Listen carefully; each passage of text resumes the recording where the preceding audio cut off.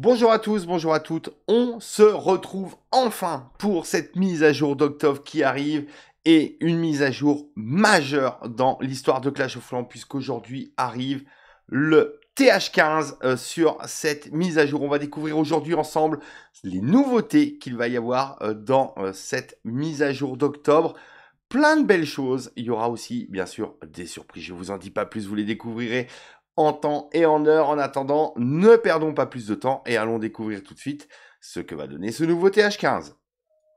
Allez, on se retrouve pour découvrir cet HDV 15. Voici le euh, design de l'hôtel de ville niveau 15 qui est franchement très très joli avec ses couleurs violettes et le bleu turquoise. Franchement, moi j'aime bien les escaliers, me rappellent le décor du Clash Fest euh, d'Helsinki au championnat du monde. Donc franchement, très euh, très euh, propre. Maintenant, regardons ce que l'HDV15 fait en termes de défense. Et là, pas de surprise euh, versus le TH14 puisqu'on reste sur une méga TDE au design un petit peu revisité pour le coup pour cet hôtel de ville niveau 15 et on va regarder le sort qui apparaît au niveau de l'explosion du TH quand celui-ci est détruit. On y est allé tranquillement pour pour profiter de ce nouveau, décor et on le voit, un sort de poison qui reste présent euh, pour euh, l'HDV15 lors de son explosion. Sort de poison qui est très très beau au niveau de l'animation là pour permettre de,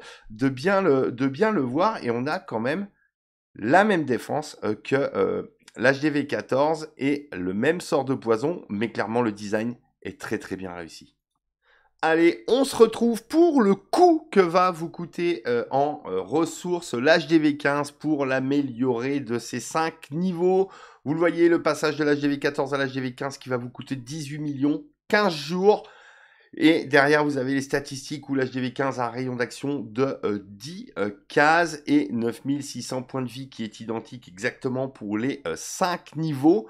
Je tiens à préciser que les valeurs ici euh, d'amélioration en termes d'élixir et de temps sont soumis à modification euh, par euh, Supercell sans prévenir avant la sortie de la mise à jour et que tous ces montants-là s'entendent hors passe hors. Donc vous le voyez, 10, 12, 14, 16 millions, 9, 11, 13, 15 jours pour avoir l'HDV 15 au niveau 5 euh, et pouvoir ainsi profiter de sa puissance défensive maximale. Puissance défensive qu'on va aller voir tout de suite avec la Giga TDE et le sort de poison. Allez, on se retrouve maintenant pour la Giga euh, Tour de l'Enfer ainsi que le sort de poison de l'HDV 15. On le voit sur les 5 levels. Vous aurez donc à partir du level 1 et encore une fois, Supercell se réserve le droit de modifier les caractéristiques et les données euh, de toutes les choses que l'on va voir pendant cette mise à jour un DPS à 300, un dégât d'explosion à 1000, un sort de poison à 180 et une réduction de vitesse à 50% euh, de euh, son efficacité. Un rayon d'effet de 4 cases euh, pour le sort de poison du level 1 au level 4. Pas beaucoup de changements de statistiques entre les levels. Le dernier level qui va être bien sûr le plus important avec 320 de DPS 1100 de dégâts d'explosion, toujours 180, 50, 50, mais surtout cette fois une portée du sort de poison à 4,515. C'est le petit changement euh, au niveau euh, de l'HTV15, cette augmentation euh, de la portée sur le dernier level. Après avoir vu tout ça, on va innover sur, sur ces sneak peeks et on va regarder, pour ceux qui veulent investir et aller très très vite, combien ça va vous coûter de up cet HDV15. Allez, on se retrouve donc pour voir combien ça va vous coûter en gemme de Up 7 HD V15. vous l'avez ici, euh, le tableau. Je vous laisserai le loisir, bien sûr, de mettre en pause euh, durant euh, la lecture de la vidéo. Vous pouvez voir le coût que ça va vous coûter aussi bien en temps pour gémer le temps d'amélioration, mais si vous avez aussi besoin de gémer les ressources, si vous voulez pas farmer, et bien sûr pour avoir le coût total de chaque level, vous faites l'addition des deux et vous aurez ainsi le coût et je vais vous montrer ça pour tout ce qui va suivre derrière. Allez, on se retrouve donc pour la photo de famille avec les défenses qui vont subir un tour de up dans cette mise à jour de l'HDV 15. Vous avez ici le comparatif pour avoir la le, visu sur comment les bâtiments défensifs vont changer versus l'HDV 14.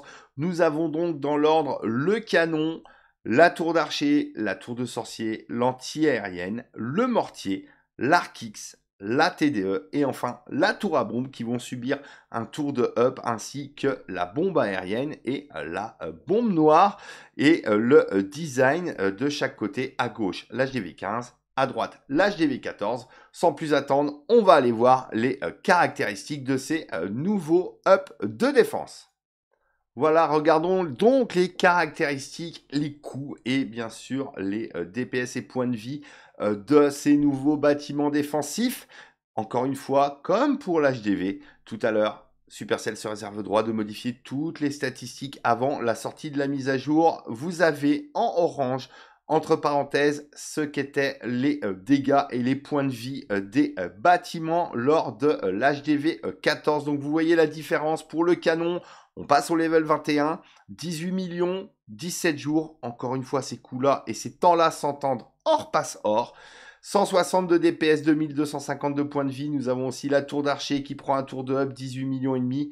17 jours, 145 800. Vous avez tout le comparatif. Je ne vais pas vous faire toutes les défenses une à une. Nous avons euh, maintenant jusque euh, la euh, TDE. Ensuite, nous allons avoir la tour à bombe en allant un petit peu plus bas. La tour à bombe et enfin les deux pièges avec quand même une augmentation assez substantielle des DPS, mais aussi des points de vie sur les bâtiments défensifs de cette HDV 15. On va maintenant regarder combien ça peut vous en coûter si jamais vous décidez de tout gémer.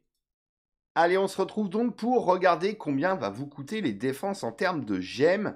Je vous laisse euh, défiler et vous pourrez faire les pauses autant de fois qu'il ne sera nécessaire pour voir les euh, montants euh, de up de ces défenses en gemmes. Vous avez bien sûr toujours le temps pour gemmer le temps d'amélioration et aussi si jamais vous n'avez pas envie de farmer, ce qu'il va vous en coûter en gemmes pour faire les ressources. Bien sûr, vous pourrez faire pause à chaque fois pour regarder euh, plus en détail le niveau euh, des euh, troupes, des défenses à up ainsi que leurs coûts respectifs.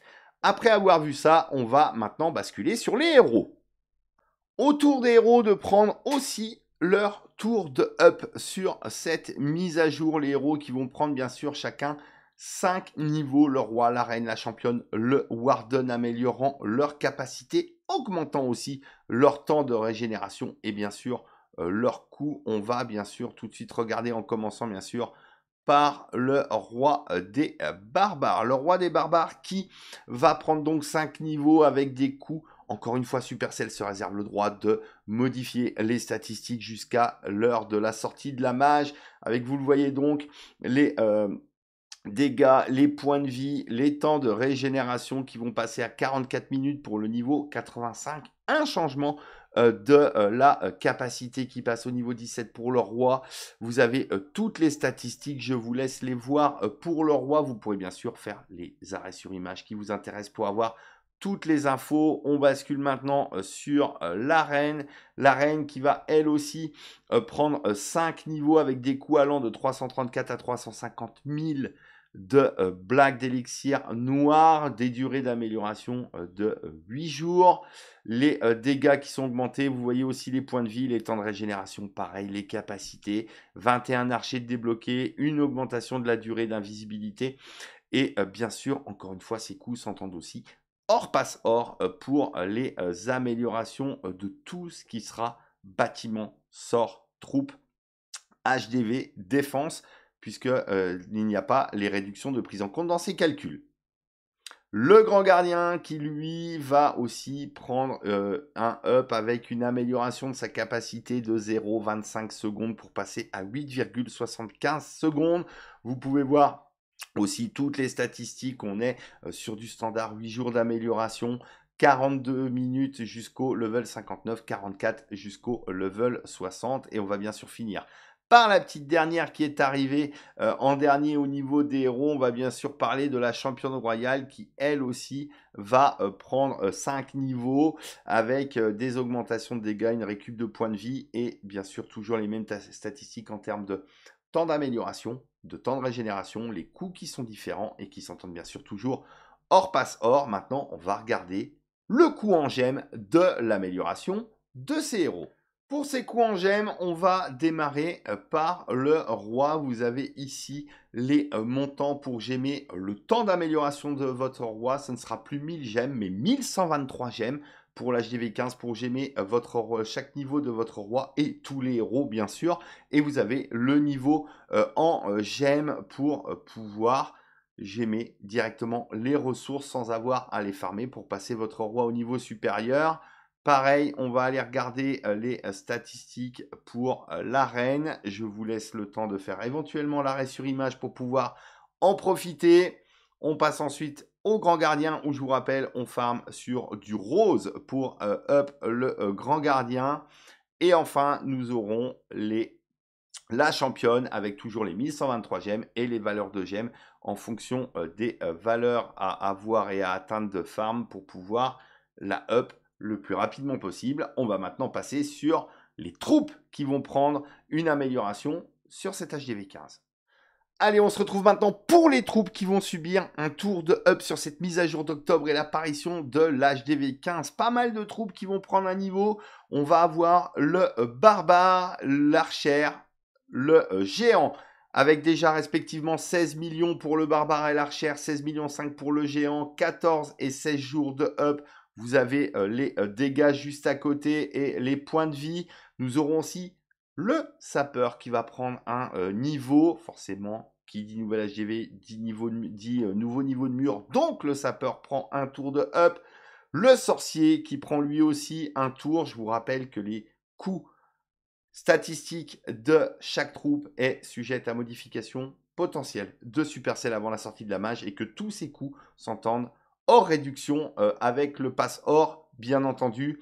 Nous aurons donc la gargouille, le golem, la euh, sorcière qui va prendre elle aussi un tour de up euh, dans cette mise à jour. Le mineur et enfin l'électro-dragon pour les troupes traditionnelles qui vont prendre un tour de up. Je vous laisserai mettre en pause si vous voulez voir les statistiques complètes. Aussi, qui dit amélioration de troupes, dit amélioration de super troupes. Vous avez juste à côté euh, de moi le euh, tableau euh, d'amélioration des super troupes. Les super troupes impactées qui vont être le super barbare, la super archère, le super géant, le super wallbreaker, le super sorcier, le super gargouille et enfin la super sorcière. Vous avez ici absolument toutes les statistiques avec les DPS et les points de vie. Maintenant, allons voir combien cela va coûter en gemmes pour maxer les euh, troupes sur cette mise à jour de l'HDV 15.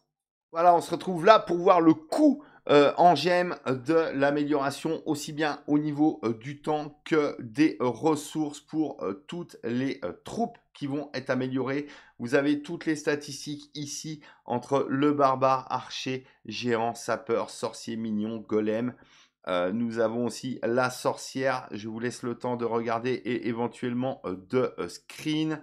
Nous allons ensuite aller voir la fin de la statistique avec bien sûr les mineurs et les électros et enfin le total pour savoir si vous voulez gémer absolument tous les temps d'amélioration des troupes. Il vous en coûtera 21 345 gemmes. Si vous voulez gémer les ressources, en plus, il vous en coûtera 61 482, ce qui veut dire un total de quasiment 83 000 gemmes pour euh, gemmer dans l'intégralité les troupes, que ce soit en termes de ressources et en termes de temps d'amélioration. Maintenant, allons voir les sorts qui vont prendre un tour de up sur cette mise à jour de l'HDV 15. Voilà les sorts qui vont subir un up sur cette mise à jour d'octobre et la sortie de l'HDV 15. Nous allons avoir le sort de foudre, le sort de soin, le sort de saut, le poison et le bat qui vont avoir droit à leur amélioration. Vous avez toujours les coups euh, suivant euh, ce qu'ils utilisent. Donc 16 millions euh, d'élixir pour le foudre, 17 pour le soin, 16,5 pour le saut. On passe en blague pour le poison avec 320 000 et 330 000 pour le, le sort de bat. Vous avez les durées en jour, les euh, DPS pour le foudre et le euh, poison.